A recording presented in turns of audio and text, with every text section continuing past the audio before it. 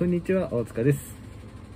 えー先日、宿毛矯正の、えー、とスパン、頻度っていうのの、えー動画を出したと思うんですけれども、えーそれに付随してですね、え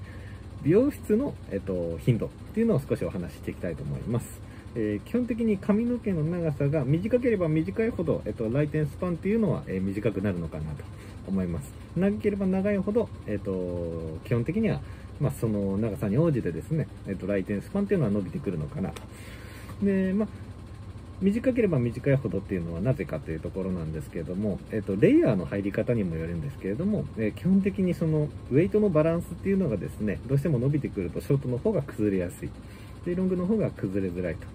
っていうところが、えっと、まあ、来店スパンに、えー関わってくるのかなと思います。あとは、まあ、カラーリングの際ですね、明るいハイトーンカラーの場合だと、どうしても根元が黒で、えー伸びてきてしまいますので、えーそれによって、えまあ、ちょっと来店スパンが短くなってしまったりは考えられるんですけれども、まあ、基本的な考え方としては、ま、今言ったようなところですかね。はい、最後までご覧いただきありがとうございました。よかったらチャンネル登録よろしくお願いします。あと、インスタグラムもやってますんで、そちらもご覧になってください。ありがとうございました。